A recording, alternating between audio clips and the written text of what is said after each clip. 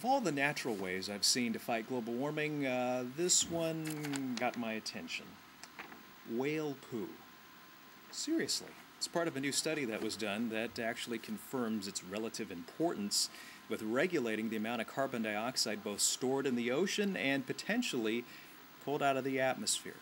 Now, this is going to require a little bit of explaining. Now, here's why it's important. We know the world has been warming during the last few decades, most notably in the polar regions by the scale of a few degrees, and the ice caps have melted some 20 to 30 percent or more since the 1970s. We also know that a prime greenhouse gas is carbon dioxide, with concentration levels steadily on the increase. At the same time, the average global temperature has also been on the rise. Carbon dioxide absorbs the heat coming off the Earth's surface and re radiates it back down to the ground, acting like a blanket. So, how do whales come to our rescue in this scenario?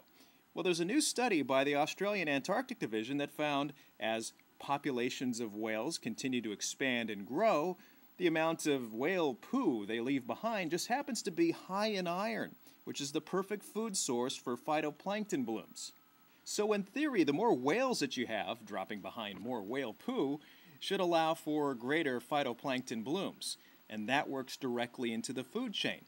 Tiny shrimp known as krill feed on the phytoplankton, and the whales make that krill a prime part of their diet. So, why is phytoplankton important? Well, they use sunlight and they actually pull carbon dioxide out of the ocean surface as part of their growing process. So, as more carbon dioxide gets pulled out of the ocean, this gives the ocean a better ability to absorb more carbon dioxide from the environment and the atmosphere, acting like a carbon sink. Scientists believe if whale populations were to increase, in theory, you could see more CO2 being pulled out of the atmosphere, perhaps pulling back some of the man made effects of global warming. So maybe the crew of the Enterprise had it right, going back in time and increasing the global whale population in the future. According to this study, it may potentially lead to a slightly cooler planet.